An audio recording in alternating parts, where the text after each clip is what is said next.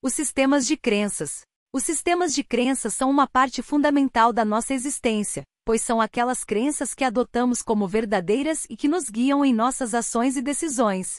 Esses sistemas de crenças podem ser divididos em duas categorias: crenças conscientes e inconscientes.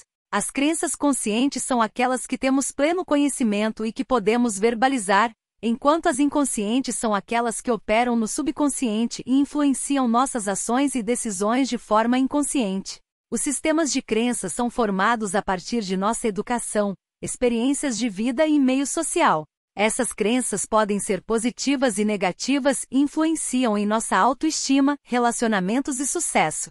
Por exemplo, uma crença positiva como sou capaz de alcançar meus objetivos pode ser motivadora e levar a ações positivas, enquanto uma crença negativa como não sou bom o suficiente pode levar a sentimentos de inadequação e ações limitadas.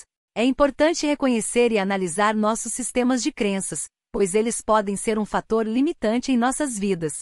Se houver crenças negativas, é importante trabalhar para mudá-las, pois elas podem ser substituídas por crenças positivas. Além disso, é importante questionar nossas crenças e não simplesmente aceitá-las como verdadeiras sem questionamento. A verdade é relativa e pode mudar com o tempo e a experiência. Em resumo, os sistemas de crença são fundamentais para a nossa existência e influenciam em nossas ações e decisões. É importante reconhecer e analisar essas crenças, pois elas podem ser um fator limitante em nossas vidas. Devemos questionar nossas crenças e trabalhar para mudar aquelas negativas para positivas. Isso nos permite viver de forma mais plena e alcançar nossos objetivos.